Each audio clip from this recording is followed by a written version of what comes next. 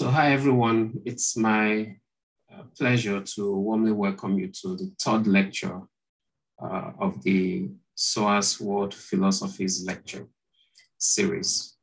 Dr. Elvis Imafidon. I'm one of the um, lecturers in the World Philosophies program here at SOAS. Um, the the World um, the SOAS World lecture series is uh, designed um, to create a space for conversation about philosophy as a human experience and to explore the rich heritage of uh, the various philosophical traditions from the West, the East, from Africa, from the Islamic world, uh, and so on. And um, resonates with our understanding of philosophy here so as, as a human experience and not a Western experience or an Eastern experience, but a human experience that have um, uh, that has had uh, that has this very rich tradition, which is often uh, not always fully explored in uh, the history of philosophy as we have it. So the idea is to um, um, rethink the exclusion and the, coloni- uh, I mean, the colonization of philosophical um, knowledge that we have in human history and provide a space for decolonizing it and uh, allowing for diversity and inclusion in the study of philosophy. And we are therefore very pleased to have uh, an iconic figure in this uh, regard with us today.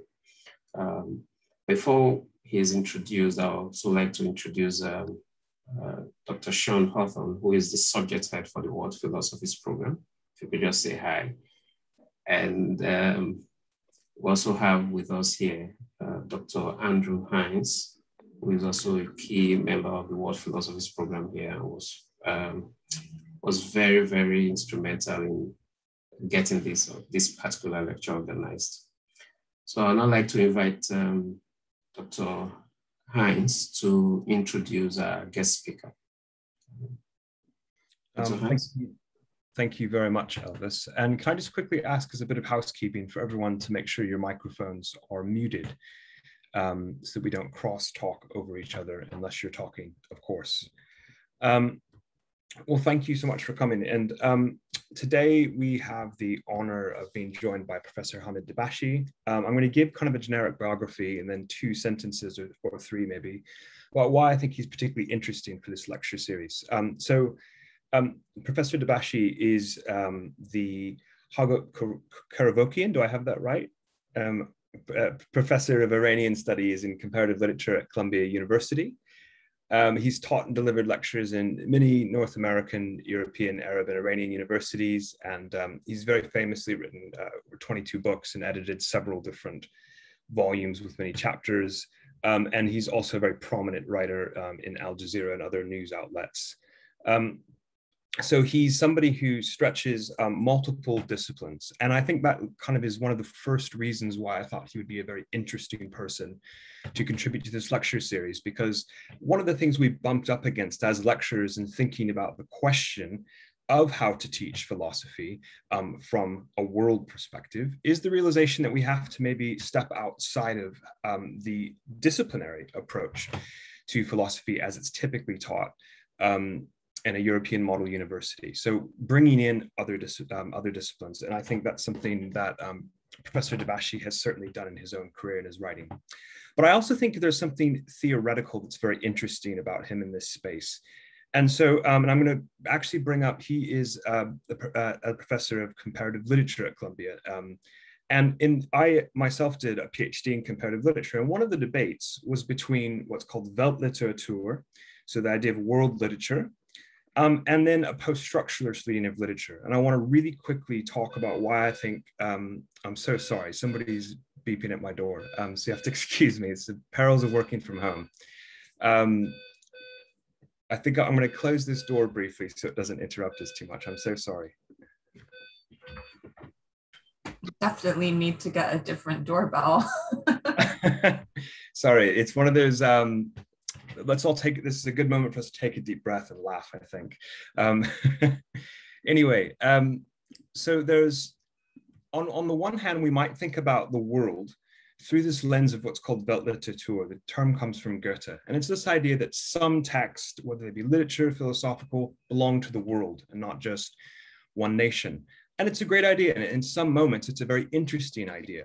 But at the same time, one of the things we bump up against with this idea is that somebody sets the parameters of what ends up being a great work of literature, a great work of philosophy, etc. And so we realize that it has a limit. On the other hand, um, we, we might we might go along with somebody like um, Foucault, who says the future of philosophy has to be in the world. And in Foucault's vein, he's critiquing the heritage of his own tradition. But then at the end of the day, both still speak from the perspective of European philosophers trying to wrestle with the question of the world. Where is the voice of the other person fundamentally? And that's something I find very fascinating and, and poignant about what Professor Dabashi's work might bring um, to us today. And so without further ado, I'm going to hand it over to you and just say thank you so much again for uh, being with us today. My pleasure. Can you hear me? Great. Uh, first and foremost, uh, please allow me to start by thanking Dr. Ian Hines uh, for his kind invitation to give this talk today. I can only hope to deliver only an inkling of the fun that he and I had uh, discussing the topic of my talk over a couple of uh, exchanges, which resulted in the speculative title I offered him to draw attention of his colleagues at SOAS. Uh, let me also thank Dr. Elvis Imafidon uh, for his equally kind attention to details of this talk and sending me the handsome poster that you have uh, prepared to stage this talk on the omnipotent, omniscient, and omnipresent Almighty Zoom, on which I have been teaching, it looks like forever. Uh, I only wish, by the way, I knew of his wonderful book, The African Philosophy and the Otherness of Albinism, uh, when I was uh, writing my book on the Shahnameh, in which I have a discussion of albinism in the figure of the legendary hero Zal, who was born with white hair and his royal father ordered him abandoned to wilderness. It's quite an extraordinary story. Uh, I equally regretted not knowing of Andrew Hines's metaphor in European philosophy after Nietzsche when writing my other recent book on Europe and its shadows, where I begin with Nietzsche's famous suggestion that truth is a mobile army of metaphor, etc. Uh, but I, I place that, as I habitually do, uh, next to Fanon's proposal that Europe is literally a creation of the third world. Uh, he meant it more, of course, metaphorically, but I meant it more uh, literally.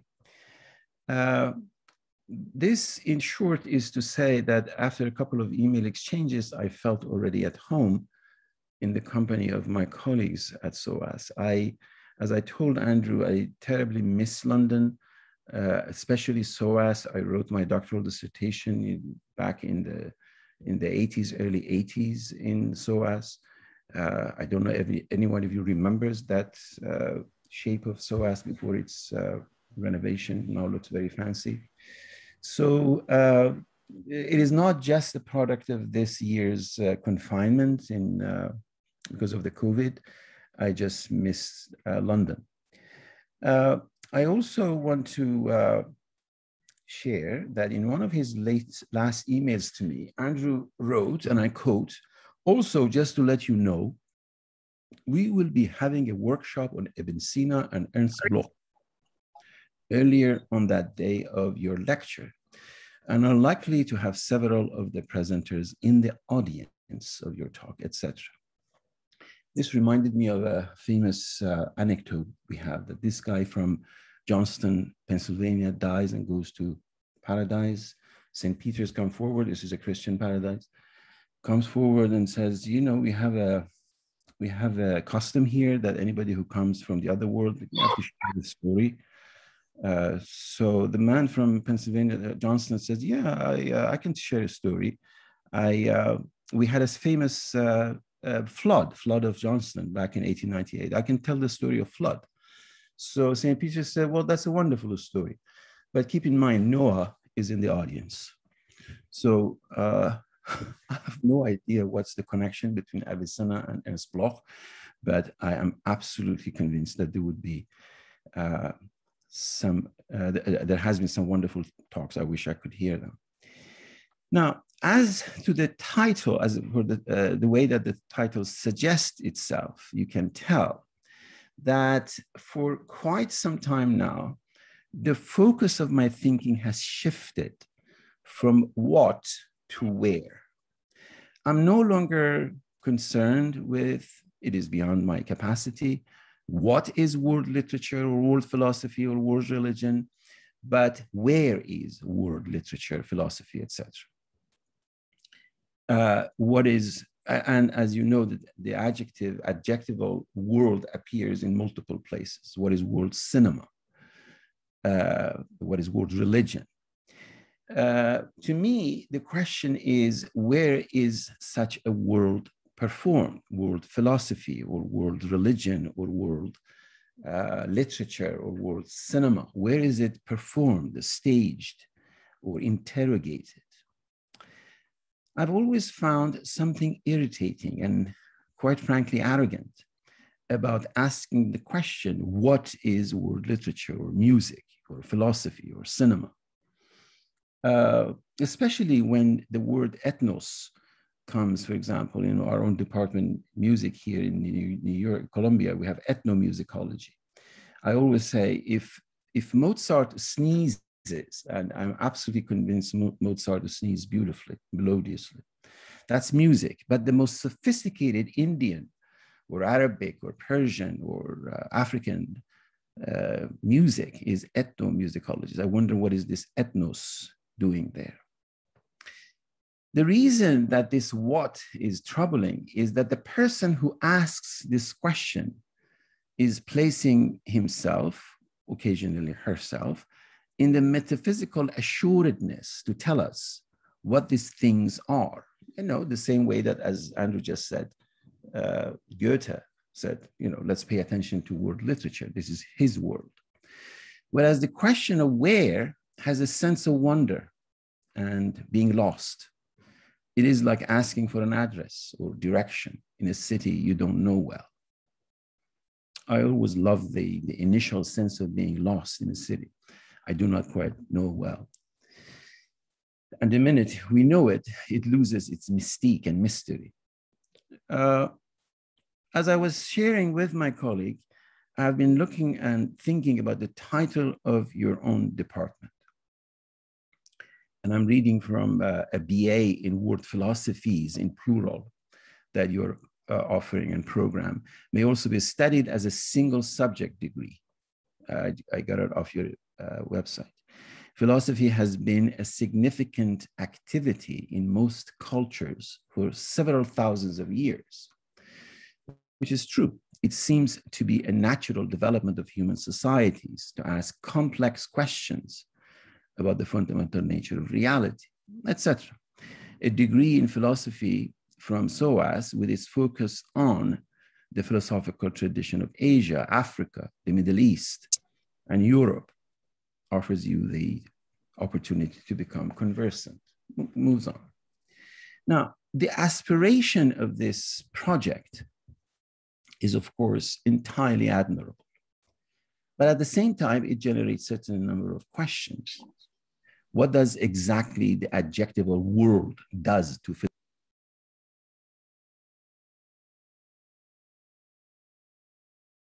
myself? No. I, I was, can hear you now, yes. Yeah, I was suddenly muted. Uh, the adjectival world does to philosophies, or how universal is, or could this claim on philosophy be? These are two, but not entirely unrelated questions. Let's say Islamic philosophy or Vedic philosophy or philosophies of Taoism. What happens to them when we place the word, the word world in front of them? To be sure, Islamic and Vedic philosophies, as well as Taoism, have had a world of their own.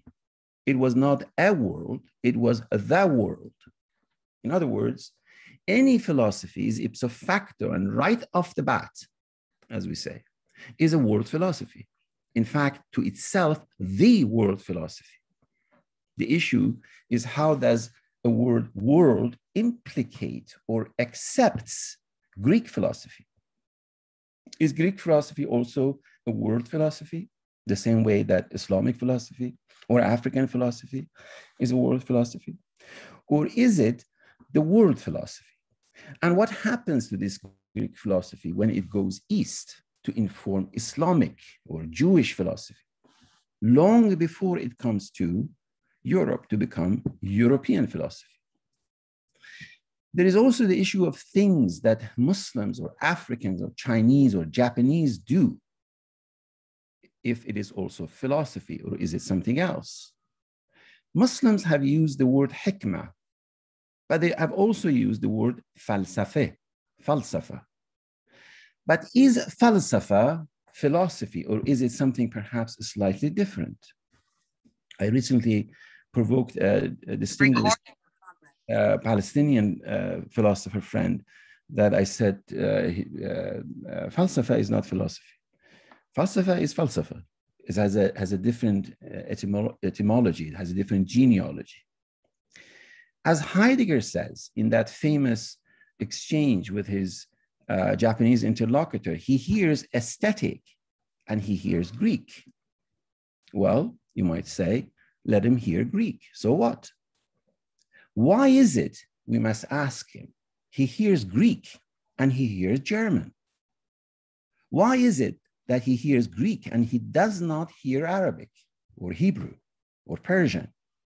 languages and philosophical traditions hosting Plato or Aristotle or Xenophon long before German, French, English, or any other so called European languages hosted Plato. And even today, in what sense are these languages quote unquote European? What happens when Mudimbe writes African philosophy in English and thinks in French? or Enrique Dussel thinks his liberation philosophy in Spanish with a Latin American inflection, or Abdul Fattah Kilito thinks his literary philosophy is in Arabic, but writes in French, or thinks in French, but writes in Arabic. Or the most prominent, arguably European philosopher is an Algerian Jew who can only write in French about the monolingualism of the other, as he puts it himself. So when we come to the Department of Religions in plural and philosophies in plural in the School of History, singular, religions and philosophies, is it a singular or is it plural? Why is history in singular and why religions and philosophies in plural? This pluralism has been kindly extending to religions and philosophies, but not to history. I'm just playing with the words. I'm sure there is a history for this, but it still retains its Hegelian capital H. And in the singular Geist that cannot travel except towards the Brandenburg Gate, where Hegel saw history on horseback when Napoleon was marching in Berlin.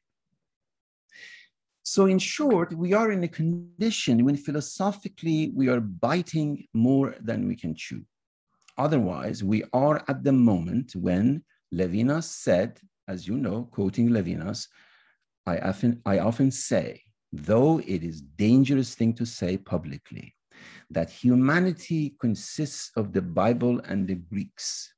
All the rest can be translated. All the rest, all the exotic is dance, end of quote.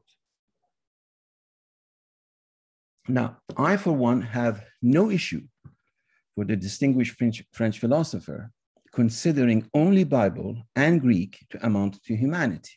I see nothing dangerous about the proposition, uttered privately or publicly. The issue is why would a French philosopher, even a Jewish French philosopher, think the Greek and the Bible are his and not mine too? If I went to Plato and said, Mr. Plato, I am Persian, he would know who I am, even though he may not like me. But if Levinas went to Plato or Xenophon and said he is French, neither of them would not have a clue who he is. The issue is this bizarre, contorted, and utterly flawed sense of entitlement to the Greek or to the Bible, disregarding the Greek preoccupation with the Persians or the Babylonian Talmud in its ambient Sassanid context. That brings me to the uh, famous passage in uh, that video that I said of when uh, Derrida is asked, bringing the question of gender, when Derrida is asked which philosopher would be, uh, would be, uh, could be his mother. And I want to share, if I could, Andrew, uh, hold on one second. If you had a choice, what philosopher would you like to? No, let me first share my uh, screen. Where is my screen? I think Elvis, you might need to make Professor Dabashi a co-host. Yeah. Oh, Um, I, yeah, hold on a minute. Uh, I'll make you, I think, It's working. yeah, it's working. I think. so you can see my screen, right? Yeah. You may have seen this. I will just do a couple of minutes of it. That's his, his, his style. That's his, his own style. Okay, let's see the WDB. Uh, you can all see it, right? Like Andy? Andrew, you can see the screen? Good. If you had a choice, what philosopher would you like to have been your mother? That's his, his, uh, his style. That's his, his own style. I have no already, already answered this question. Let me give me some time.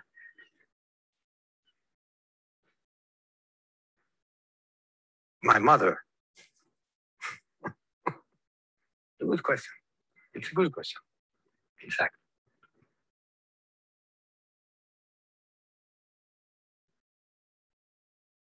I absolutely adore this moment of pause. This is the master deconstructionist, mind you, okay? And he is outmaneuvered. Beautiful.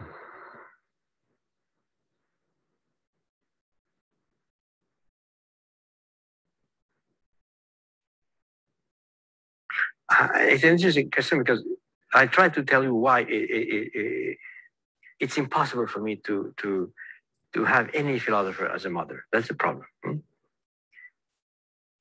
My mother, my mother couldn't be a philosopher. Un philosophe ne pourrait pas être ma mère.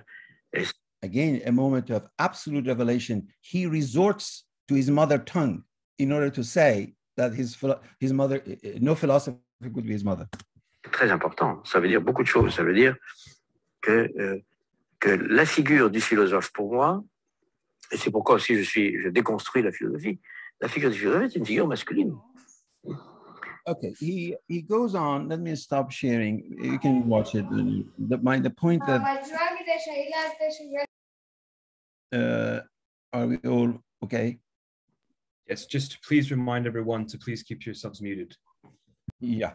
Uh, the the point of the uh, of showing, I hope you will uh, you will watch it on your own. is is quite a wonderful, and it's one of the products of teaching on Zoom because uh, there is a limit to how much I can share text with my students. I roam the the internet in search of these magnificent uh, uh, videos of wonderful philosophers. Uh, so when you listen to to this wonderful uh, interview, he does concede that his daughter, he said, no philosopher could be my mother. This is the whole point of phallogocentrism, critique of phallogocentrism, moves on. But then he says, yes, uh, my daughter could be my uh, uh, a philosopher. Uh, then, as I was talking to Andrew, I said, how thought to myself, we could flip the question even higher and let it come down head or tail, asking Derrida or any other European philosopher, thus located, what Muslim or Chinese or Indian or African or Latin American philosopher could be his father, mother, sister, brother, even distant cousin, or dare I say, perhaps illegitimate son or daughter. Born and being raised out of the wedlock. In that spirit, I wonder where This is, this is the point of my raising the question of where, not what is world philosophy. And how is she doing? Because now the whole question of gender and homoeroticism, uh, you know, I need not tell you all the way back to the Greek, and of course Persian and uh, Jewish and uh, African and Latin American context uh, uh comes uh, comes to the fore. That raises the question of whether or not what, for example, people do in Africa or in uh, Islamic context or Jewish context is that philosophy. And for that, I want to share again a couple of minutes of another video of a conversation between the Portuguese philosopher Boaventura de Sousa Santos and uh, uh, Mudimbe, Waiwe Mudimbe. Again, I'm going to share my screen and uh, go here.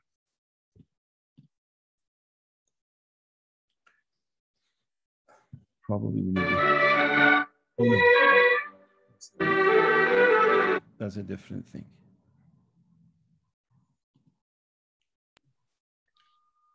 Um, Professor Dabashi, we can hear you. you. Pardon me? We can hear this the video, but can't see it. So if it's visually important, let us know. Otherwise, we can hear it. That's okay. Important, but I wonder why, because I'm sharing my screen. If I share my screen, and it's my sharing my screen, you should be able to see this. Can you see my screen? We just see black at the moment, actually. Uh oh. So. Okay. Uh, so just trust me, it's a conversation between uh, the Santos and Mudimbe.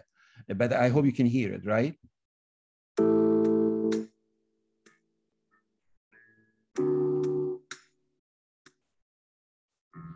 Um, Professor Dabashi, could you stop sharing and then share again and start again?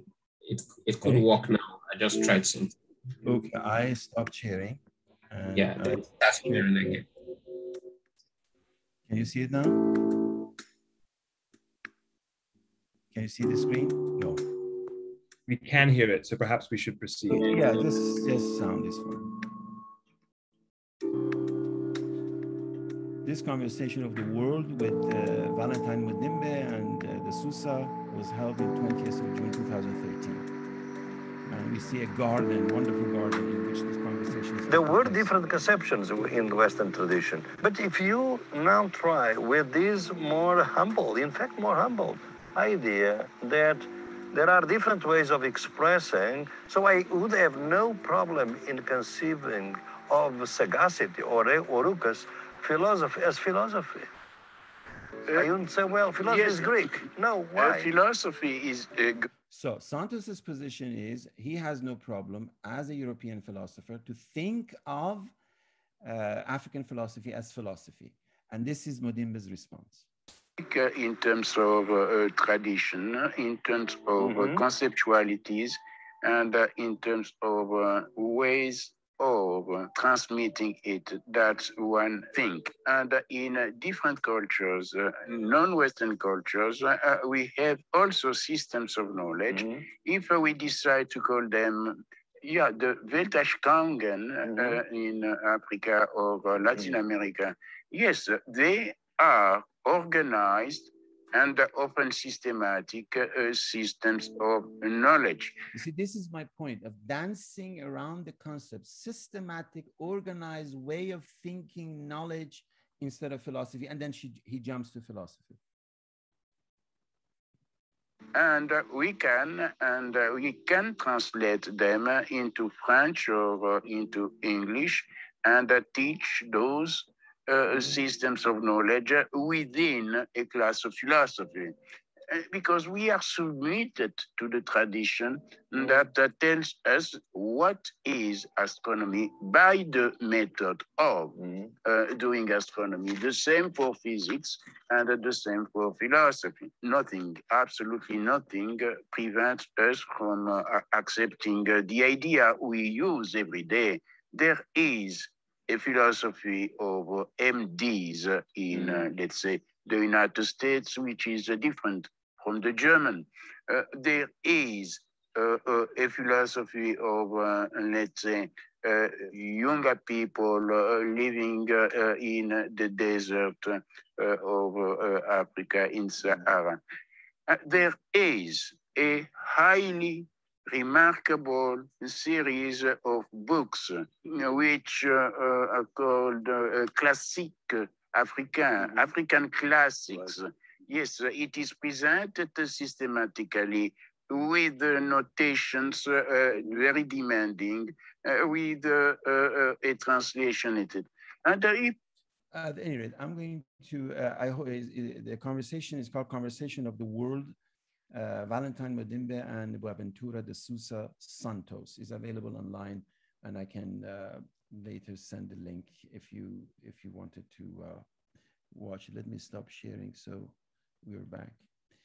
Uh, there is another video I wanted to share, but because you can't see it, I won't, is a conversation with, uh, with, uh, with Hannah Arendt.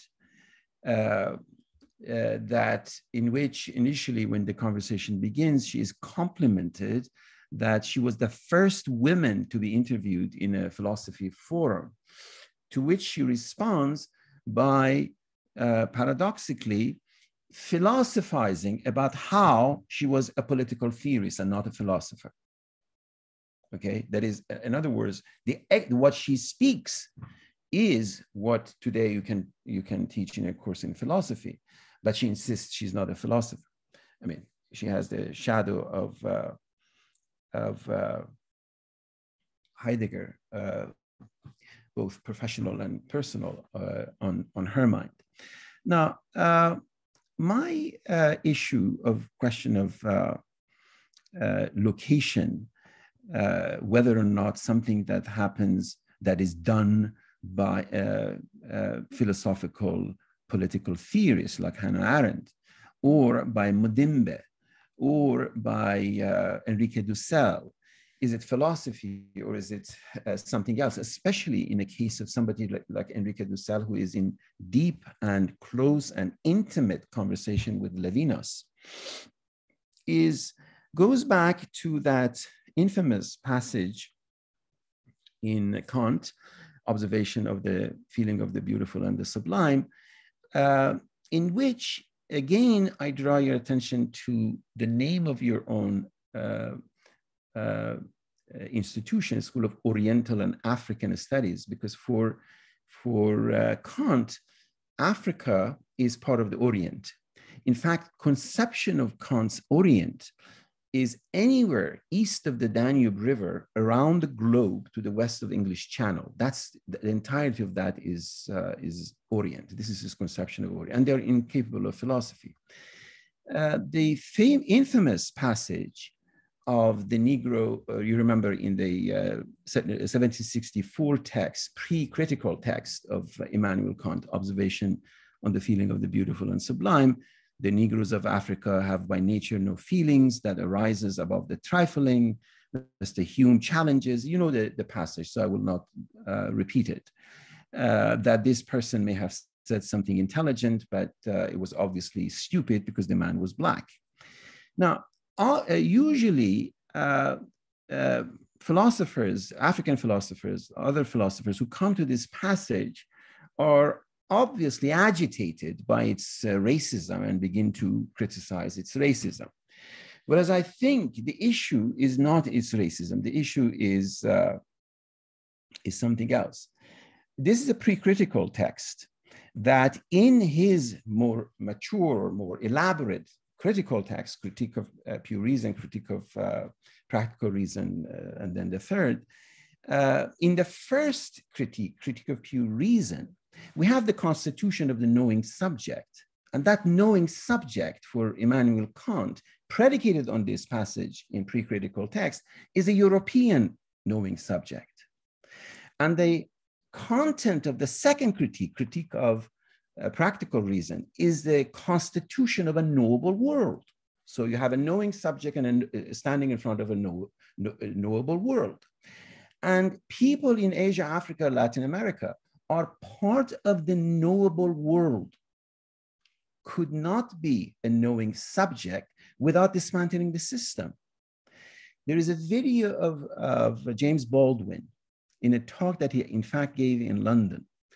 Uh, after Raoul Peck's film, I'm Not Your Negro, that, that video is no longer available online, in which James Baldwin says, at some point in the, in the context of a conversation, if as much as I stood up and walked from here to there, as if I had a right to be here, I'm almost quoting him verbatim. The entire structure of Western civilization would collapse. I mean, think of the, in, and he, he's very careful with his words and what he says. Why would the structure of Western civilization collapse? Is that if an African American walk from here to there? My proposal is that he posits himself as a knowing subject. And if an African or a woman or a Latin American or a gay or a lesbian, anything that is outside the parameters of the knowing subject that's constituted by Kant, assumes the position of a knowing subject. That is where the post-Kantian or post-Hegelian, uh, this word post is abused, uh, begins to, uh, to uh, take shape. Now, as you all know, none of these questions we are asking today are entirely new. Philosophy has always questioned itself, and philosophers have wondered what it is they're doing. What has changed is the world in which we are asking these questions. And precisely for that reason, we need to come to terms with the world where we live and have a sustained course of critical thinking about the world we inhabit. It is not surprising that as a post-colonial subject, a creature of the condition of coloniality, determined to interrogate its power and hold over the matter and manner of our thinking, I have been relentlessly at work wondering where in the world we are. Not what, but where, and what constitutes our subjectivity. I just finished a, a project in which I end up with a position of, uh, of uh, nomadic subjectivity. The dialectic, as a result, between my knowing and my not unknowing subject is precisely where uh, this location is, uh, uh, is located. I also talked to Andrew about the link or the dialectic between Eurocentrism and Europhobia. Europhobia, I've always believed, is the worst kind of Eurocentrism. It's like a bad divorce. You see the former spouse and you start agitating uh, in all directions. What uh, is is philosophy exclusively European or can there be non-European philosophy too? The question is already loaded by virtue of the none placed in front of Europe. For there is that negation that the world must posit itself as a negational and not as an affirmation of something else. Or the affirmation of something else must be predicated on the negation of something else. I am a non European. You are a European, I'm a non European. The problem with the binary that Mudimbe in that uh, video, in that conversation, and also in the introduction to his invention of Africa, is the fact that uh, we, we, uh, in philo- when we come to philosophy is the term falsafa in Arabic is a close cognate of philosophy and without even going to hikmah, which is another uh, word that we use in Islamic uh, in Islamic uh, uh, philosophy and has a different set of connotations. Now, that brings me to a subject again that was of interest to, uh, to Andrew, namely uh, my work on hermeneutics of misunderstanding. And as you all know, it goes back to you know Gadamer and uh, Umberto Eco. All understanding is misunderstanding, and no understanding is misunderstanding. And in fact, there is a wonderful film about Abbas Kiarostami, certified copy. I don't know if you have seen it. And again, there is a video in which he talks about that film and in which he says, love is a misunderstanding. Love begins and continues with misunderstanding. People don't understand each other and they fall in love.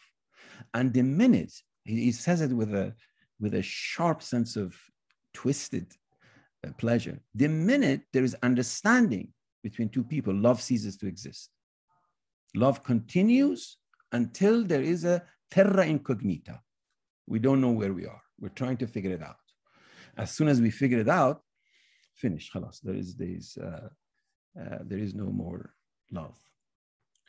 Uh, that uh, also connects to the process of canonization.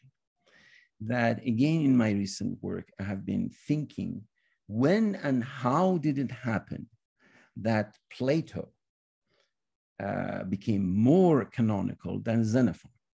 In what context? When was it?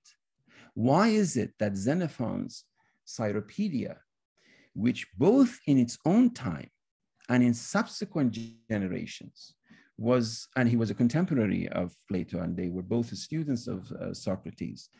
Uh, Xenophon's uh, Cyropedia is politically uh, far more important than Plato's Republic. Uh, not, not in a sort of a uh, abstract comparison, but in terms of its presence in European and non-European historical co uh, context.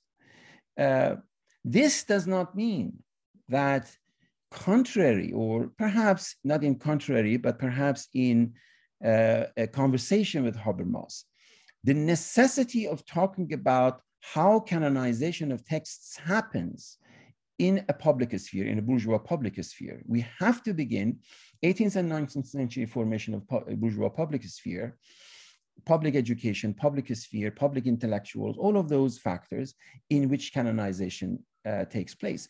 But that public sphere, ipso facto, already is a global phenomenon. If we go back and read the structure of uh, structural transformation of the bourgeois public sphere, we are in the presence of uh, of a transnational public sphere. Uh, uh, uh, in, in, in a recent book the, uh, on Persophilia, I talk about the rise of Persophilia in 18th and 19th century European bourgeois culture, in which both biblical and classical antiquity take on Persian culture are resuscitated.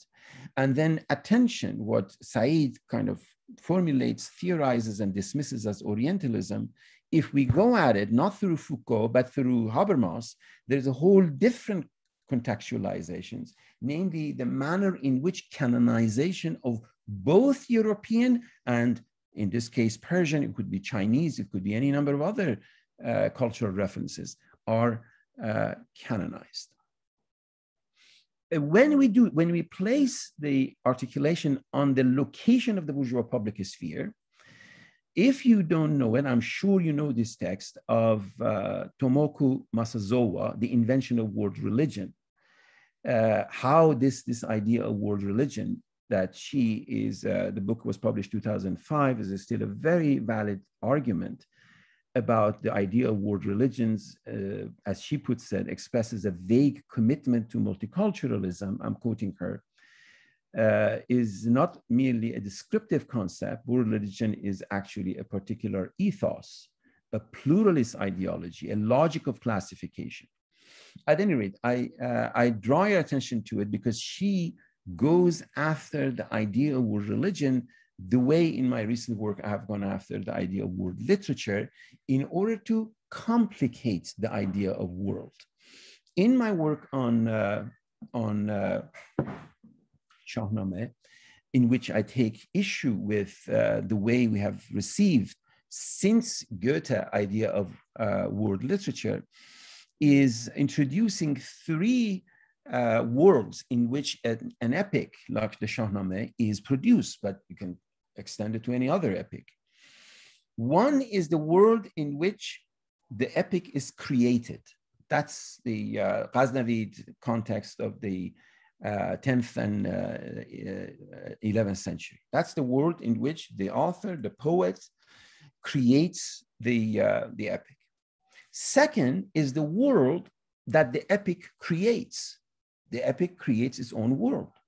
In this context, in the context of Shahnameh, this world is divided into three uh, crucial uh, seg segments. One is the uh, mythic uh, period, one is the uh, heroic period.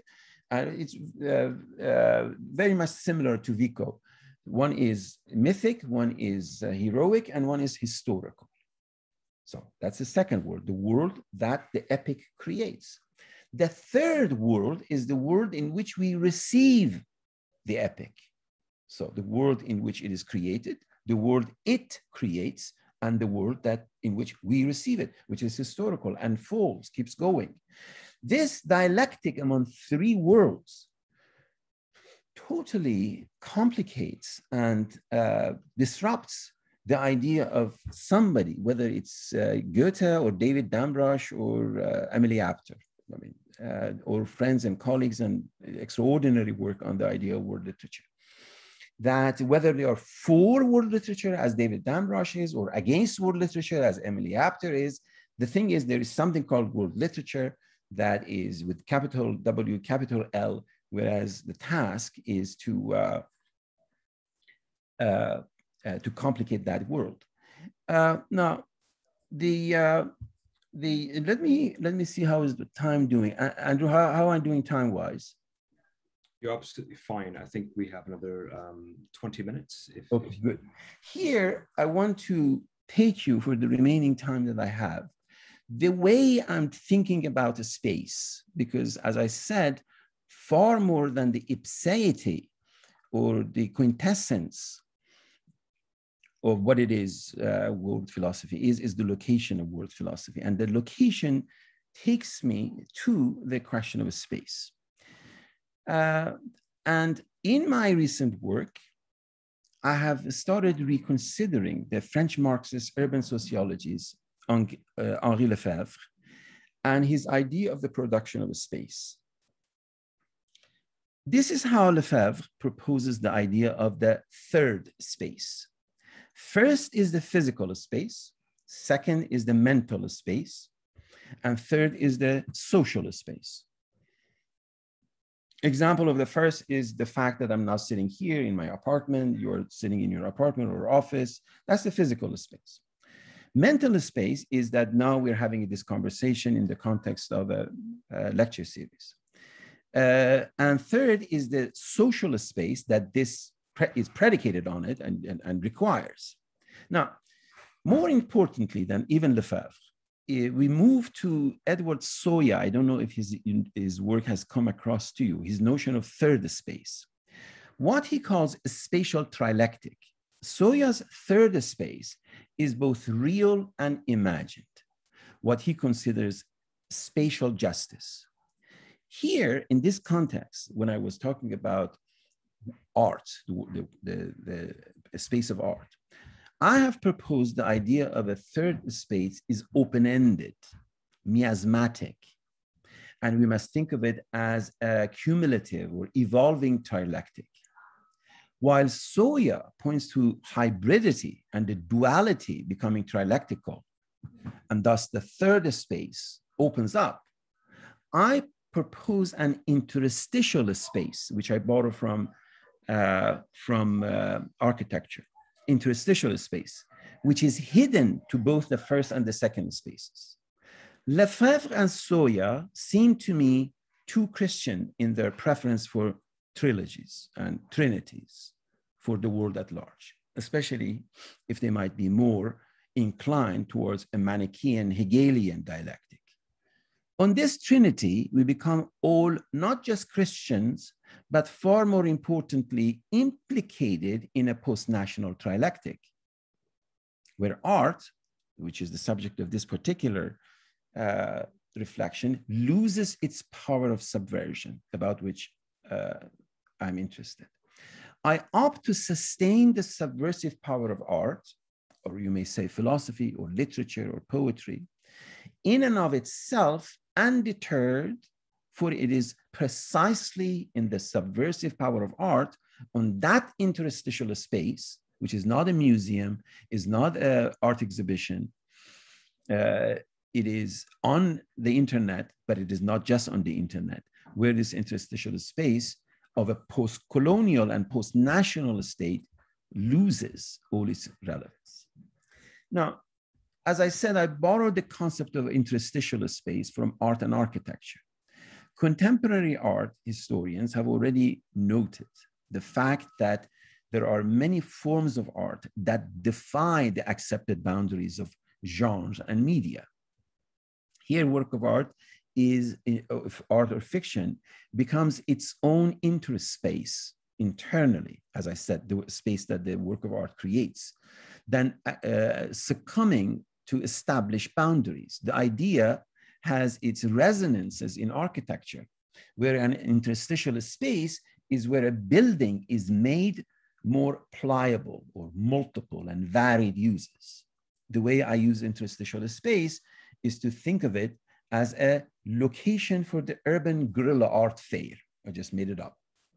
Where we perform a revolutionary confiscation of the work of art from the bourgeois public spaces, and in which context I've called it para-public space because it's hidden from the uh, public camera, in which it is staged and without uh, depositing it, depositing it into any other bank or museum or biennale we cash it in for our own revolutionary, subversive, transgressive purposes. Before, I put it uh, provocatively, Christie's and other auctioneers uh, uh, take it over. Now, uh, to conclude, let me say the following. To talk about philosophy today requires two radical axial differentials location and gender. And here by gender, uh, I'm, I'm totally on the same page with Judith Butler, namely non-binary.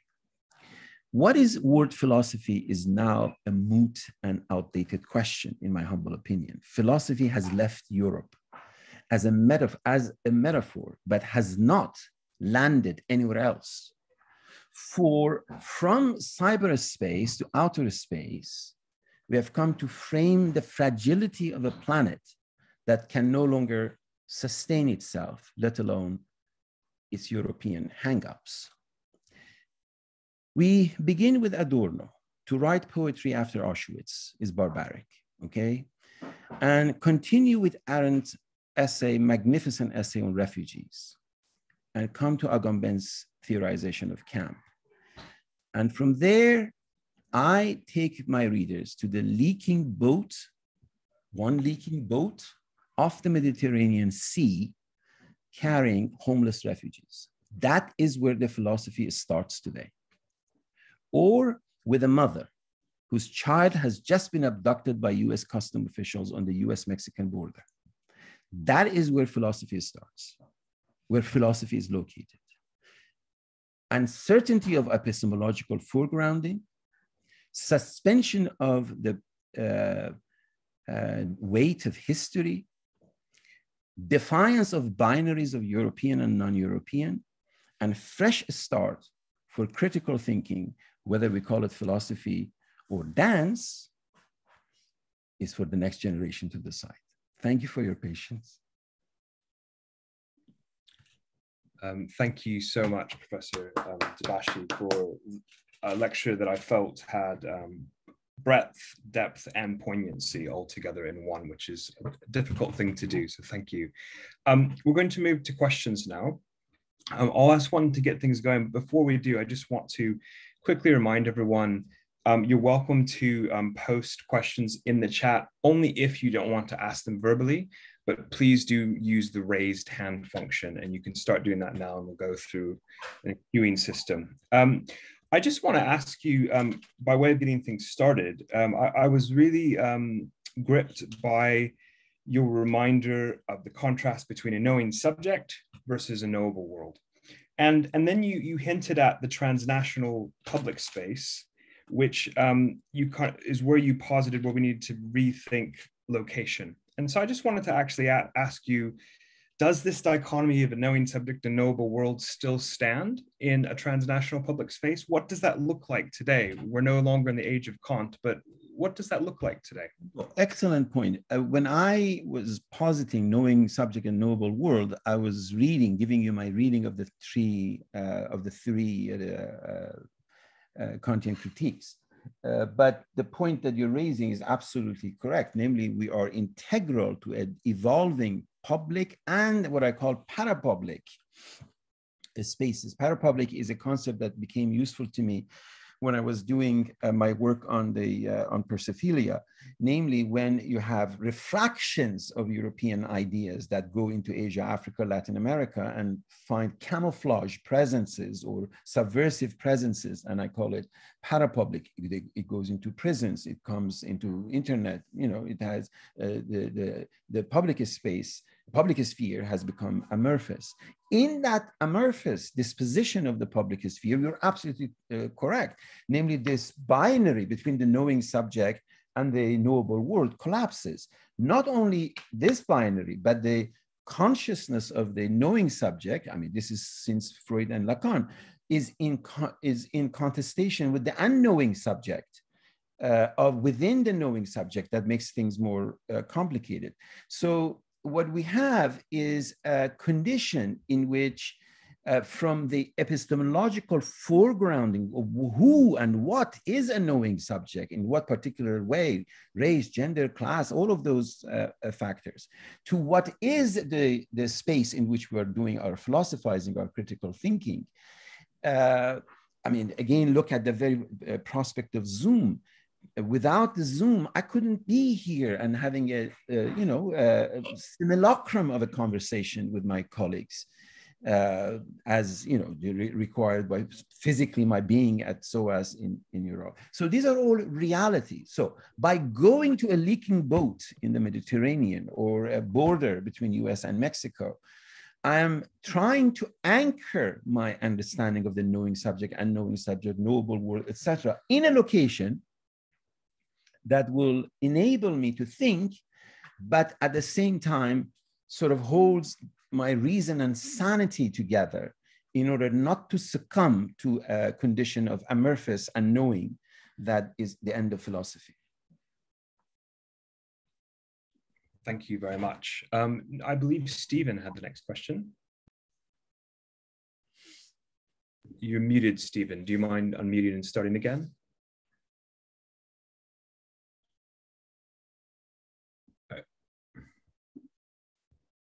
We'll try to unmute you here. Apologise. Yeah, I apologise. I'd forgotten about that. Yes. Um.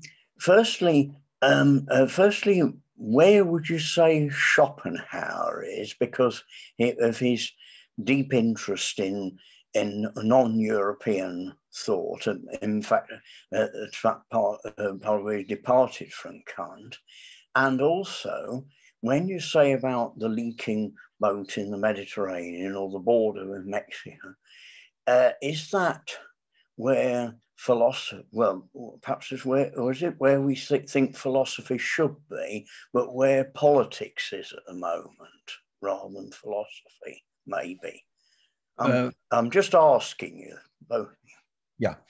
In, uh, regarding Schopenhauer and any number of other uh, takes on Kant, their interest in non-European uh, is not just Schopenhauer, it just goes across the board. They've always been interested in non, uh, starting with Plato was interested in non, non-Greek philosophy. Yeah. Uh, and the appropriation of Greek for the quote unquote European philosophy is itself as a trajectory that I developed in a recent chapter on in a conversation with Rodolphe Gasché. Uh, so you know it is part of the conversation, but uh, my issue with that is none. The, the the preposition none put in front of anything, non-European, non.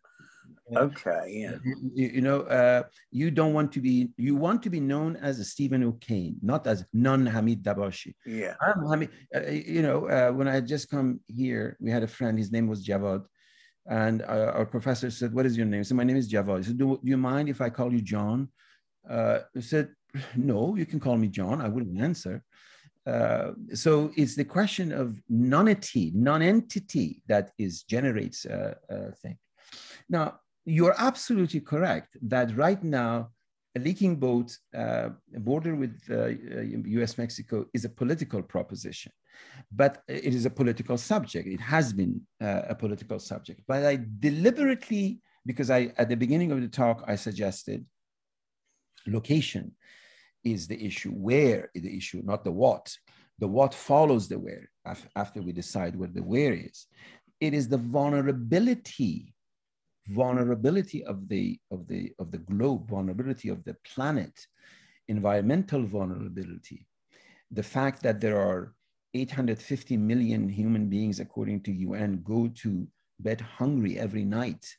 That there are 320 million uh, people roaming around the globe uh, in search of job. This is long before the, the pandemic started and showed how you know entirely interdependent we are. Going for the most vulnerable, where the most vulnerable is, is where philosophy has to start.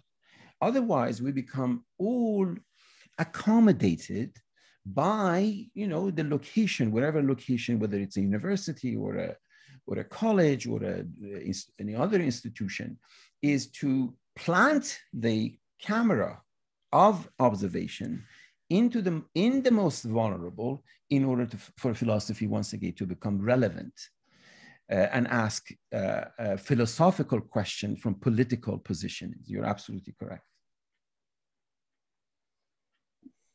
Thank you for that. Um, I believe uh, Dr. Imafidon and then Dr. Hawthorne.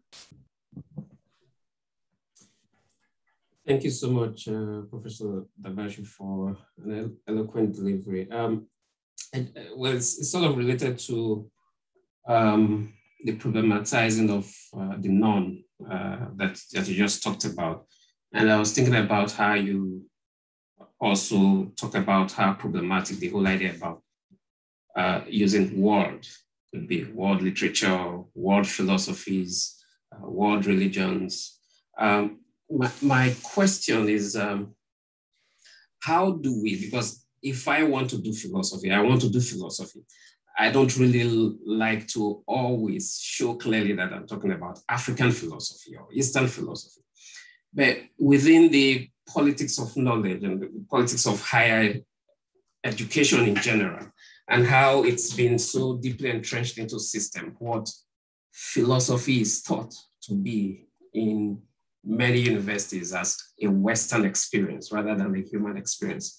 How then do I, for instance, within SOAS, show that what I'm doing is different if I then just say philosophy at SOAS and not say what philosophy is at SOAS, just to give it a, a, a sense of difference from what is usually obtainable. Um, yeah, so uh, any ideas of how on how this issue of terminology with regards to what philosophies might be dealt with?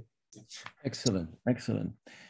Uh, I always put it provocatively, Elvis, to my my students. I tell them only in New York you have Mexican food.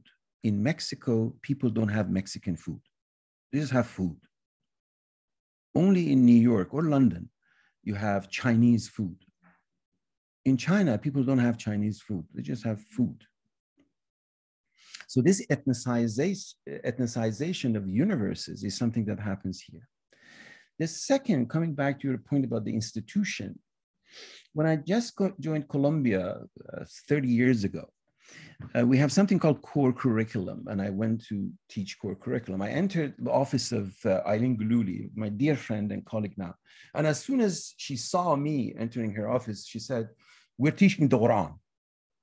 I said, good for you, but what has to do with me? I'm not going to teach the Quran. Quran is a wonderful book, but I want to teach core curriculum. At the time, again, non-European uh, ideas and thoughts were under the rubric of major cultures, major cultures. So I told them, you mean minor cultures. Now they call them global core. And I tell them, you mean local core. So there are all of these euphemisms that are, that are used. But on the positive side, the fact is that today, you and Andrew and uh, the rest of your uh, colleagues, Professor Hawthorne, are in one space. And we're being paid a salary. I mean, plumbers make more than we do, but you know, we, we, pay, we pay our bills. And we're tasked with the noble task of philosophy, asking serious questions of where we are, what, we, what the hell we are doing from whatever location. So the question of whether what I'm doing is philosophy or not philosophy is entirely irrelevant. I, mean, I don't have any hang up on that thing. Or no, yes, I'm doing philosophy. No, I'm not doing philosophy. This is a, the, the reason I wanted to share that video with uh, with Hannah Arendt that she philosophizes about not doing being a philosopher. So that is not the question. The question, again, if you look at the rest of Mudimbe's conversation, but more important, Mudimbe's on uh, the invention of Africa, is raising quintessential issues, existential issues, ontological issues, and not having hangups the way that Heidegger had in that famous exchange with the Japanese interlocutor that I hear aesthetics, I hear uh, Greek. Okay, hear Greek, so what? Uh, I hear Greek, I hear Arabic. Why is it that you don't hear Arabic? Uh, the, there is the, the selective, I, I call it choo-choo train uh, uh, theory of history. The, the, the train starts in, in Parthenon and comes all the way to Brandenburg uh, Gate. That, that's the, is a, is a pizza pie theory of uh, history. It dropped Plato in the pond, it goes all over the place. It's not just coming this uh, direction. So what we call it, world religions, world philosophies, histories, you know, uh, you start that very definition and constant institutionalization is the location for you to start philosophizing. Uh, the, the subject of your matter, for example, the question of uh, white skin, black race that you raise. It's a universal. I took the question of black skin, white mask of, of, of Fanon and turned it into brown skin, white mask because the insight that Fanon was addressing some 70, 80 years ago was still relevant in a different codification of color. The, the relation of power was important, not the color codification. Sometimes we take the color codification for the real thing. The real thing is the relation of power. Gender codification, color codification, racial codification, these are manifestations of the actual relations of power. Um, thank you very much. I believe it's Sean next. Thank you. This is such a nourishing and interesting and provocative conversation. Um, and it, it, I really just kind of want to pick up on what you just said. And this is this question of power with regard to this prefix world. Not all worlds signify in the same way.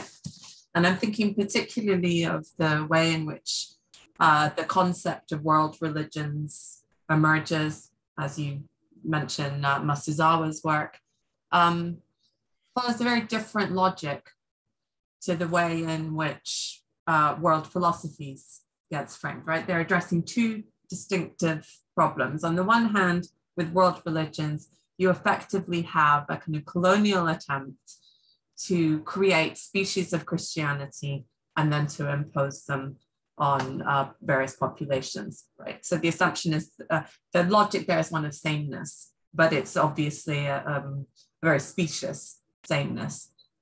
With world philosophies, what you're confronting is the total colonial denial um, of uh, the capacity of other cultures to have sophisticated or not sophisticated, but nonetheless, philosophical systems such that the work that the term world is doing there is to say uh, no to that other colonial dynamic, no to this imposition of sameness, a recognition of, of that difference. And I'd just be really interested to hear um, whether you think that's the case or whether there's still a kind of colonial logic smuggled in by that attempt to challenge that logic of differentiation, which is always a logic of um, of denigration.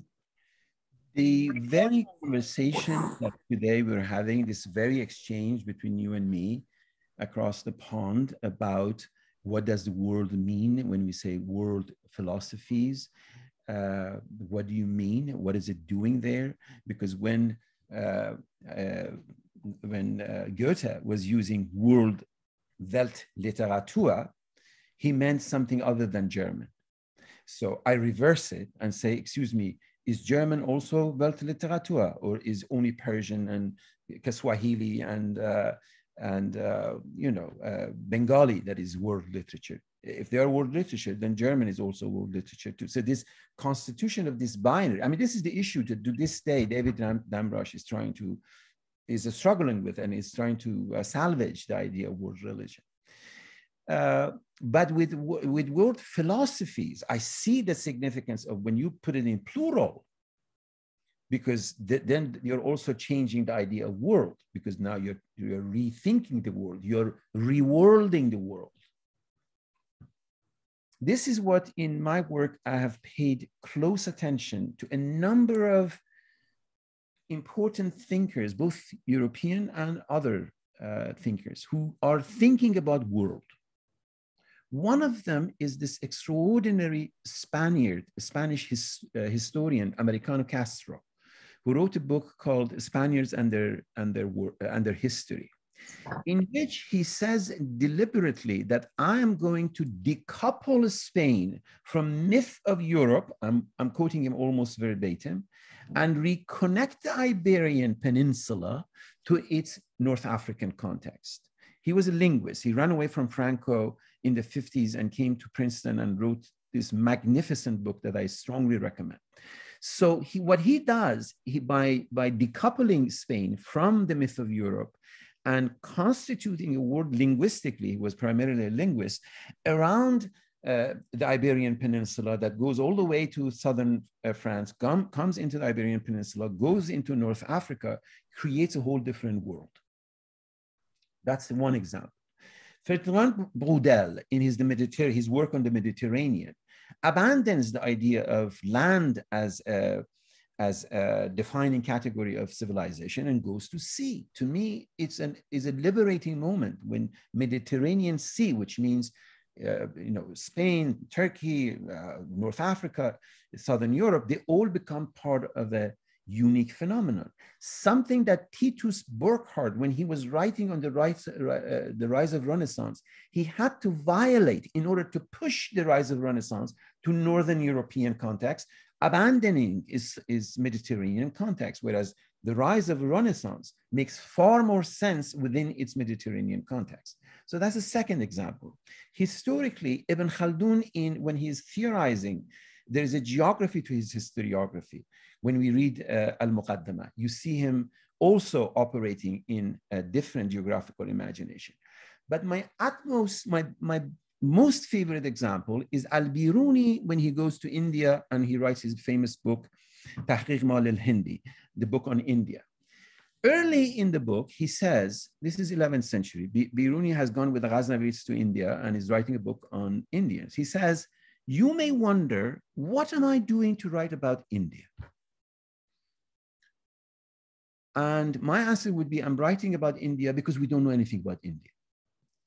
We so much don't know anything about India that when we want to scare our children, we show them a picture of an Indian.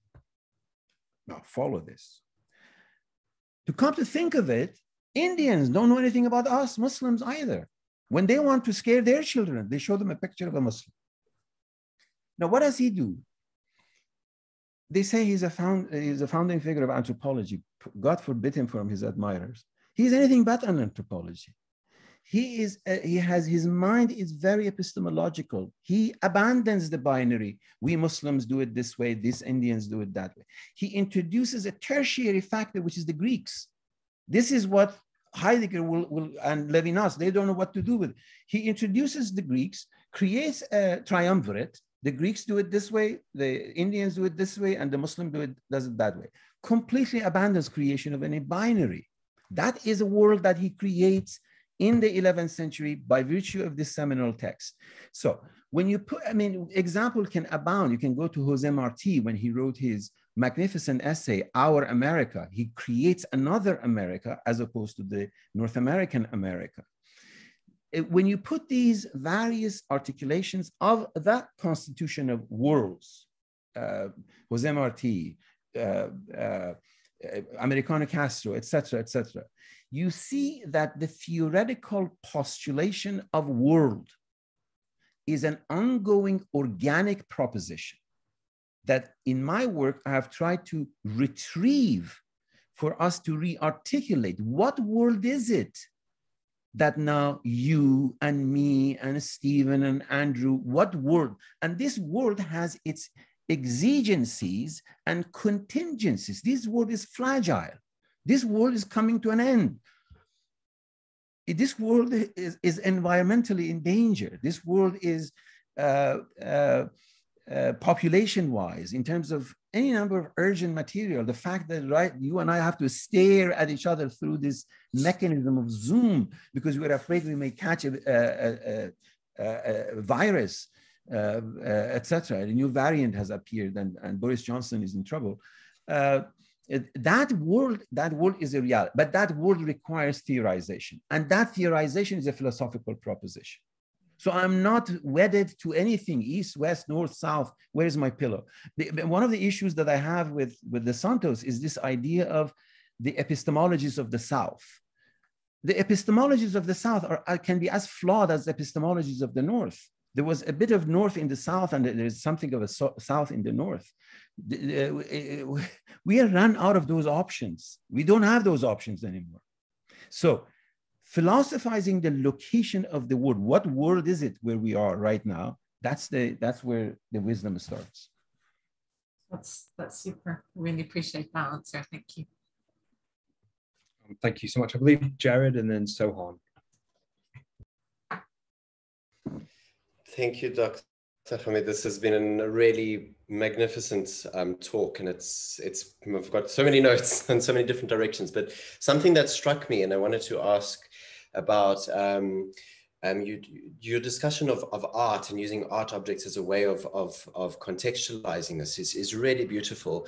And something that struck me was I come from an arts background, I studied performance, and, and this dialogue is very interesting in that sense because performance today, and, and I think many forms of, of modern art, the audience inherits the artwork and this goes against the kind of classical narrative because it removes the authorship or what the composer might have intended or what the author intends. It, it takes on the meaning within the world of the audience, within the mind, and that can be individual or can be um, group. Um, so when we're taking that away, um, when we're taking that authorship away, how does that not then, you know, become an act of appropriation? Because what tends to follow on that, that, that inheritance of the artwork is then an imitation or a simulation. Um, I'm studying yoga at the moment and we look at the, how these traditions are inherited or pulled by other contexts and they take on a new identity. So maybe I could, if I could humbly ask if you could speak a few words on that, please. Absolutely. Uh, that's a very, very important question, namely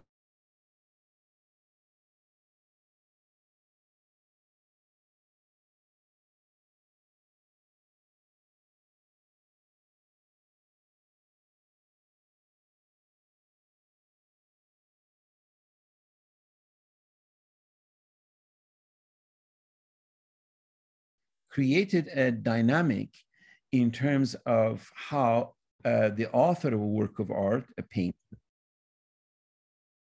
a painter, a composer, uh, uh, an artist, a performer, uh, uh, has a certain degree of authorial autonomy. Until and unless a work of art becomes part and parcel of a public domain. The best example right now, as I said to some of the colleagues, I'm getting ready to teach a course on Epic and Empire using the example of uh, uh, Game of Thrones, uh, is the uh, last episode, episode eight, or was it six, of the last season became hugely controversial because people didn't like that ending. Now, my position was there was no way on planet Earth that these two poor showrunners would have ended this show to any everybody's satisfaction, because by then the audience had become the omniscient narrator. Even when they were surprised, they thought they had willed it. You know, is a peekaboo game when the children play peekaboo with their parents because they are in control of disappearing the, the parent and then reappearing the parent. So the authorial voice and the authorial intention intentio auctoris, uh, as, uh, as uh, Umberto Eco calls it, does not disappear, is the machinery that generates the, the whole production.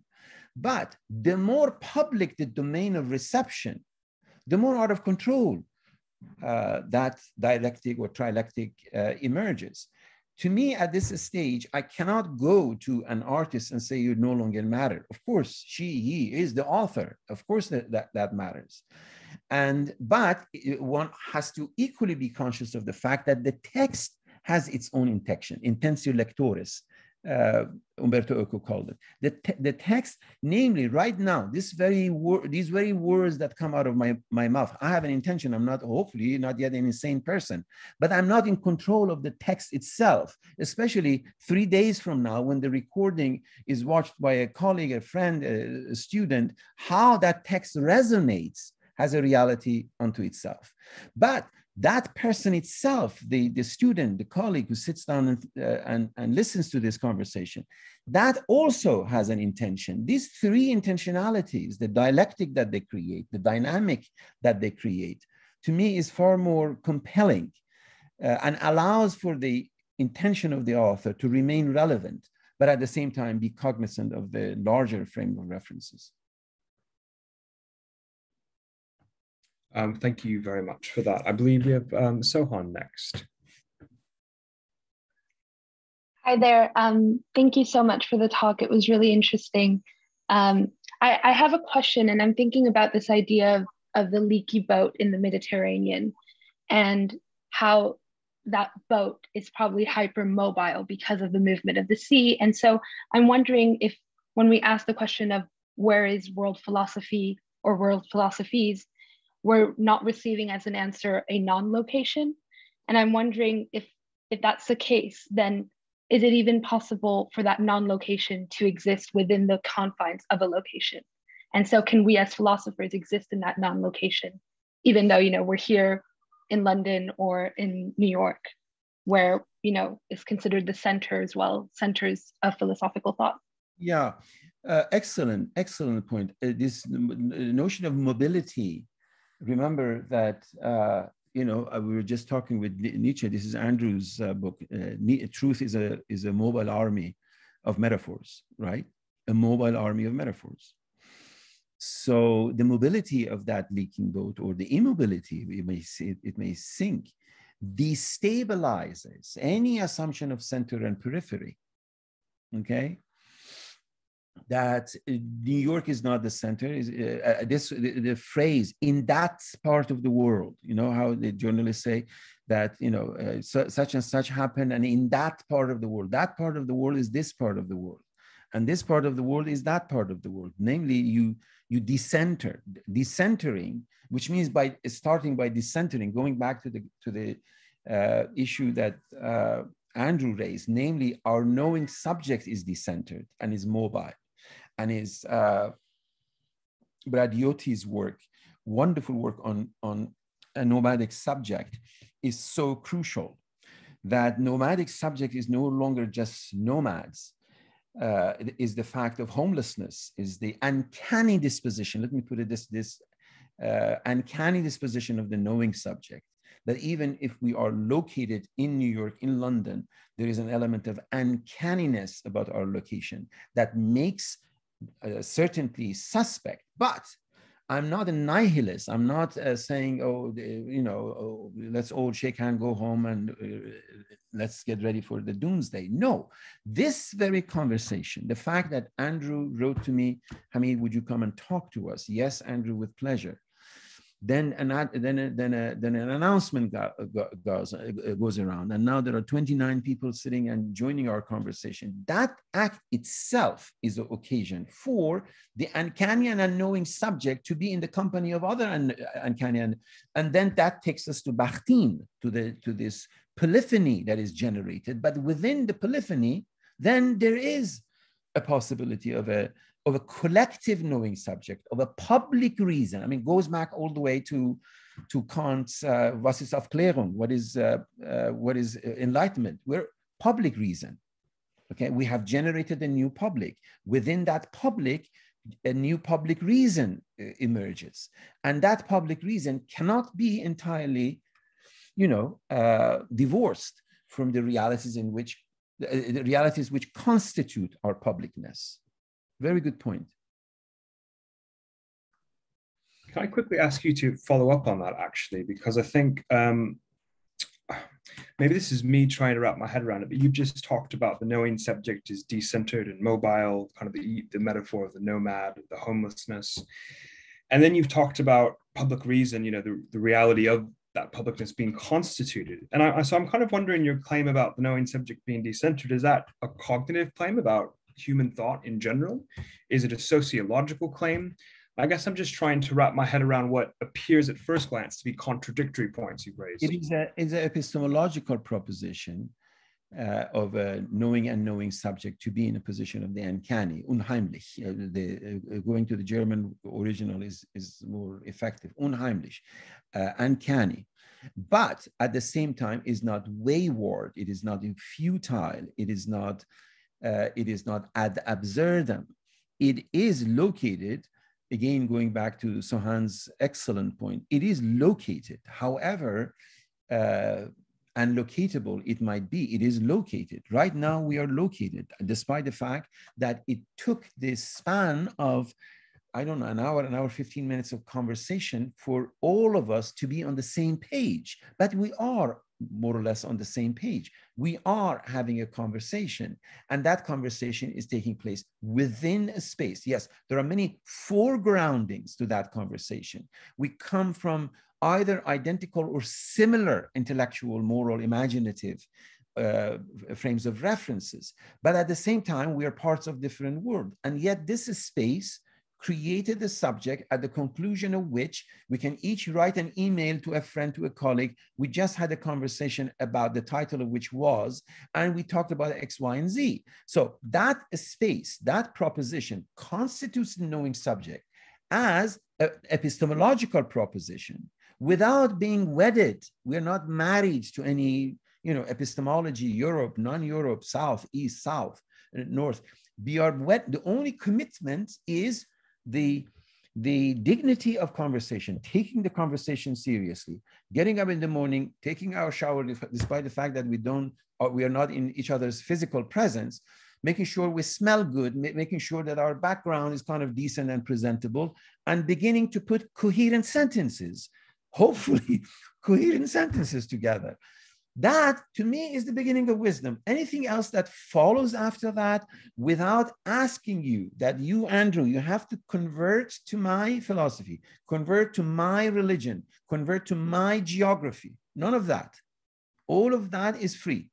Oh, the only thing that matters is decency of intelligent and honest conversation.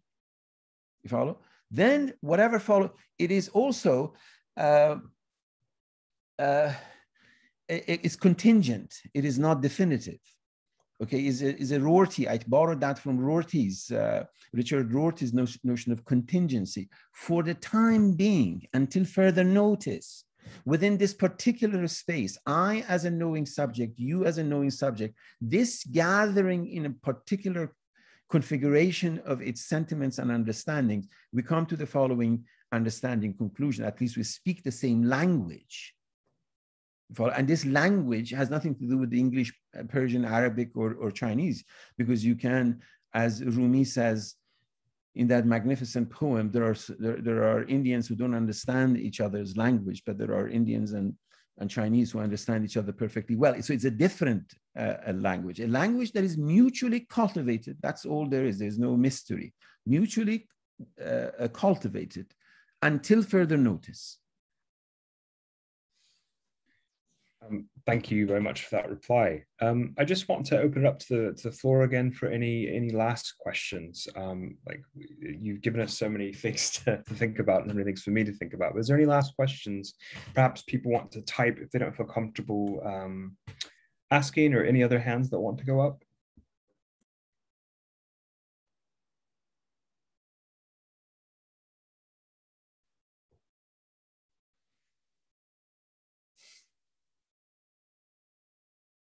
1021. We have entertained each other for an hour and a half, Andrew. Not bad. I see. Sohan, is that a last question? Another question? Yeah, it's just um, a little comment, something that um, in, I thought about when uh, Professor Dabashi was answering your question, Andrew. Um, I was thinking about this idea of others and how we're here and we're plural peoples, and yet we're talking about a similar thing and we know each other enough to understand that we will understand one another. And it made me think of uh, this notion of the difference between black and white and gray and gray in Kearney's text, um, Strangers, Monsters, and Gods. And I was wondering if there was anything more we could say maybe about that plurality whilst also having a sense of commonality.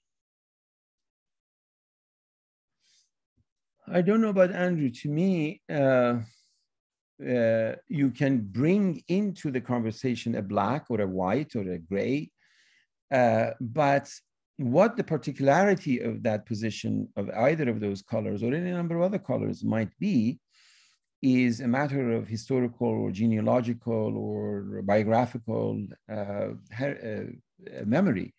But once it enters the public domain, it creates what Durkheim called conscience collective.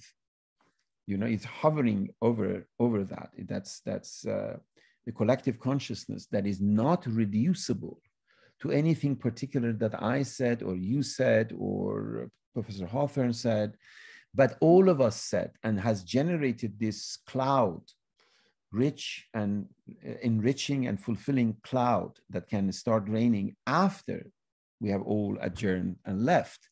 That collective consciousness, that public reason, which is not reducible to any particular, particular component, is what remains and what is, uh, what is at issue, whether or not we as humans are, are still capable of that. I, I, am, uh, I'm not pessimist. I think we are. Thank you, Professor Dabashi. Um, do we have time for one more question? Is that okay? Of course, of course. Of um, I've just seen um, Professor Siebers has raised his hand. Just for context, I was joined by Professor Siebers earlier today at the workshop um, that we had on the, as you put it, the very confusing connection between Ernst Bloch and Ibn Sina. So, uh, Professor Siebers, go ahead. I believe you're muted, actually. Yeah, yeah, yeah. No, and that was it was a, it was a very interesting workshop and Bloch was one of the first people, I think, who, who had a conception of, of world philosophy, at least in, in that tradition of, of, of German thought. Um, thank you very much for your for your fascinating lecture. It was wonderful to listen to this. Um, my so uh, my my. Uh, I, I, would like to, maybe mention two points. One, one is that um, I, I, very much appreciate and like the idea that um, philosophy has gone out of Europe, but it hasn't found a place uh, to, to, land yet. And maybe that word philosophy itself is becoming uh, problematic and not what, what the Greeks used to think about, because we all think about these things, but to call it philosophy. And uh, I was wondering how, how you, um, if you think that there is another word that, that, is, that is more suitable for the world as it is developing today, um, what would we call it? Or is there a need for a name or not? And my second my second question would would be: um, It seems to me that as long as we keep talking about um, understanding each other, we need to understand each other, or it's good if we understand each other, or if we speak the same language, or we can speak the same language even if we have different tongues. I think we're still tied to some of the conceptions, the deep-seated assumptions of Greek thought, um, where we have to uh, we can understand each other only if we speak the same language because otherwise what is in my mind cannot can never be what is in your mind. Um, there is a self and there is another or there is what is what is me my identity and what is foreign. And these kinds of um, deep-seated distinctions seem to me to be given with the idea of philosophy as the greeks conceived of it. So would it would it not be helpful to to depart from these notions of understanding of a shared language shared meaning and find different ways of talking about what it means to be in communication with each other? Absolutely uh, dr siebers i but the only, my only concern is to de-europeanize greeks. Greeks were greeks. Plato greek uh, plato did not think of himself as the father of european philosophy uh, nor did Socrates, nor did Aristotle. I mean, these are truism, it's not an earth-shattering uh, thing. Once we do that, we have liberated the Greeks who were very, I, I, I put it provocatively recently when I reviewed something. I said, uh, if I were at the time of the marathon, of course, I will fight on the part of the Greeks. What, what I, would I leave the, the company of Plato and Aristotle and go to Cyrus the Great? What, what, what would I have to say? Cyrus the Great was, uh, at the time when I wrote this, was George W. Bush of his time. What do, what do I have to say to him? Uh, so, yes, absolutely.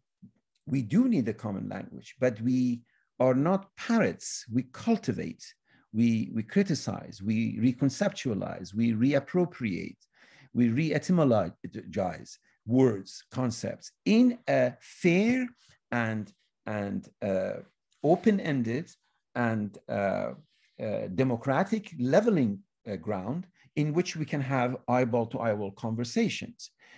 And a specific example, yes, uh, uh, Plato and Aristotle were all lovely people. But when you move into the text of somebody like Sohrawardi in the 11th century, you see the presence of pre-Islamic Iranian philosophical traditions that did, were not, are not evident to, to Plato. You see Islamic, but meaning Quranic concepts enter into his philosophy. You see Indian Veda, uh, Vedic ideas entering into his philosophy. This has to do with his location. He, he, he was killed very young. Uh, uh, at the age of 33. I don't know why all of these great people die at the age of 33. Uh, uh, but in the space of his philosophy, which he oscillates writing in Arabic and Persian, there is something is happening that worth knowing without fighting whether this is all platonic tradition or no is ironic tradition no is with no i mean these are in, at some brilliant point i forget i think is in genealogy of morals Nietzsche says if they have given you a catalog or the, a genealogy of an idea, they think they have resolved it. That doesn't resolve it. Uh, uh, positing Sohrawardi, oh, the Ishraqi philosopher, the illuminationist philosopher, was God's gift to humanity. No, I mean, they're all great philosophers. They're all wonderful thinkers, and it's beautiful to spend time with them. But I don't have to choose. Right now, behind me, this is where the, the, the English and the German and the French and the Plato, etc. Right in front of me, where you don't see, is all my Arabic and Persian and Urdu, etc. And I'm not, Professor Siebers, a schizophrenic person. I hope by now I have convinced you I'm capable of, you know, half an hour, 45 minutes of consistent conversation. There's nothing, I mean, we can go to, uh, uh, that even a schizo is good to have a little bit of a schizo. In other words, this is the reason, going back to the conversation with, with Sohan, that if we agree on this uh, ground on which we're all equals and we're talking in, in honest and, and conversant ways, in a respectful ways, I don't think I'm, I have uh, uh, uh, you know, God has whispered into my ear some sort of a truth that is only a Muslim can understand or an Iranian can understand. You have to be a Muslim. We are all part, and the same is with the idea of Europe. Europe has to be brought into the bosom of the world at large. This is the issue. The critique of Orientalism, the critique of colonialism are at the bottom. Uh, uh, uh, epistemological critiques, not racial critiques. There was nothing. There was there is nothing fundamentally flawed with uh, Levinas. I mean, in many ways, I'm a Levinasian. I, I, I, I between uh, totality and infinity, and a number of books, I choose totality and infinity. But the man, you know, had a blind spot. We all have blind spots. So what? Moving on is not you know the, the expression the baby and the bathwater. We don't throw the baby and the bathwater uh, together. We have to see in what particular ways. So in in response to many of my american friends colleagues critique hold you know catching me red-handed. Oh he uses european philosophy. Of course i use i'm a product of european philosophy I'm not, uh, I'm not Europhobic. I'm not scared if I touch a European philosopher because they are in search of, uh, of exotic. Your name is Hamid, so tell us something exotic about uh, your culture. And they get frustrated when I maneuver, maneuver not intentionally, not by virtue of any design. It, this is the way my mind works. And I am, you know, the half decent human being, product of a certain uh, uh, period of time. And I am honest with the way if, if I come across uh, uh, Benjamin, then I cite Benjamin. I don't censor myself that I have to find a Muslim. But if I come across a Muslim, I cite the Muslim. Uh, this is what I mean by taking the location, the space, this very space in which we're talking, and we have been talking for an hour, an hour and a half perhaps now, consistently and understanding each other and communicating and asking for explanation. What about that? How do you mean this, the other thing? And moving on. That to me is, you know, uh, I call it the day. And I think I think it's wonderful. Thank you so much for your response. Um, and I think I you made it very clear now to me that this emphasis on conversation is not so you know there would be a, a facile critique would be to say yeah but that is precisely what the greeks called philosophy you know to sit around and talk and uh, that's what socrates did that's what that's what they, what they all did. This culture of conversation is that is the greek idea of philosophy because there you you go from the self to the other and back again um, and you find a common language in which to understand each other. Um, and basically what you are what you are saying is well I don't want to be hijacked by the fact that the Greeks did that. Um, we can do it too, and we can learn from and each also, other. Yeah, but also the fact that the Greeks did it. This was the point that if I were to walk to Plato and say, uh, "Mr. Plato, you know, I'm, I come from Persia," he may not like me. He may consider me an enemy, but he knows where I come from. Yeah. So uh, this is what I mean by de-Europeanizing the Greeks. The Greeks are part of a larger frame of reference that have echoes in other contexts. So I have nothing wrong. There's nothing wrong with saying, well, this is what Greeks meant by philosophy. Wonderful, good for them and good for us that are inheritors of that Greek philosophy. But that doesn't turn me into Eurocentric, doesn't turn me into European.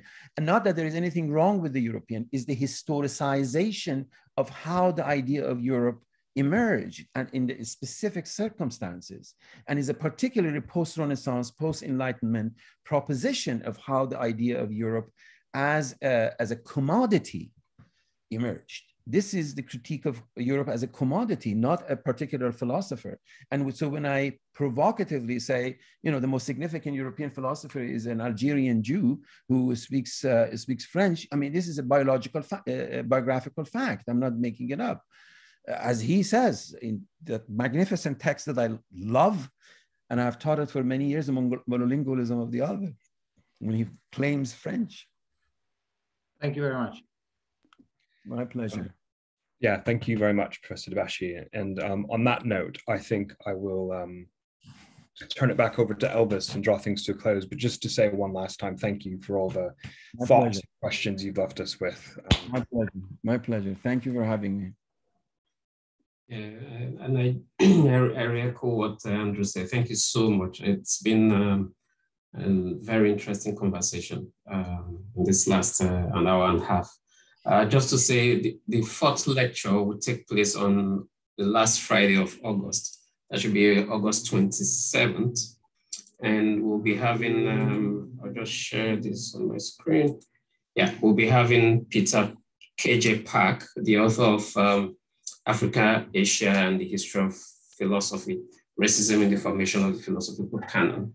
I will be having him speak to us on that day, the last Friday of August. Um, so if you can get a copy of this book and read through before that, um, that could inform a lot of discussions when we have him.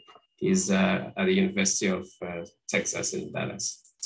Um, yeah, so uh, that being said, uh, uh, this brings us, brings us to an end of this um, third lecture. Uh, I will stop recording now. And uh,